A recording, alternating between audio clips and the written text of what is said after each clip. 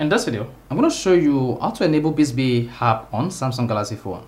So by default, if you just get a new Samsung phone and you press the start button like this, this Bixby application will wake just like your iPhone Siri or your Android phone Google Assistant. So in this case, I'm going to show you how you can easily turn on or enable this Bixby application on your Samsung Galaxy phone.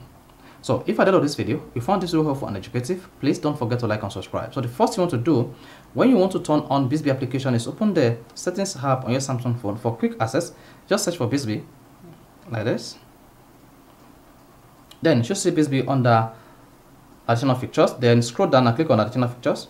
Then under additional features, locate the Bixby application here by clicking on side button. Then you should see Bixby. Choose Bixby here now, if you go ahead and press the start button on your Samsung phone, the Bixby application will wake up on your device. Now, to enable Bixby completely on your Samsung phone, now all you need to do is click on the app application, then search for Bixby, and then click on Bixby Voice. Do not use Bixby version, Vision, then click on Bixby Voice. There you go. Then, if it is disabled, you should see the Bixby disabled here. Then, to enable Bixby on your Samsung device, all you need to do is click on the enable button at the bottom left. Then let's just say the permission comes up and then the Bixby will be active. Now, if you go back to the Samsung Galaxy phone advanced features, then choose side button and then under press and hold, choose wake Bixby.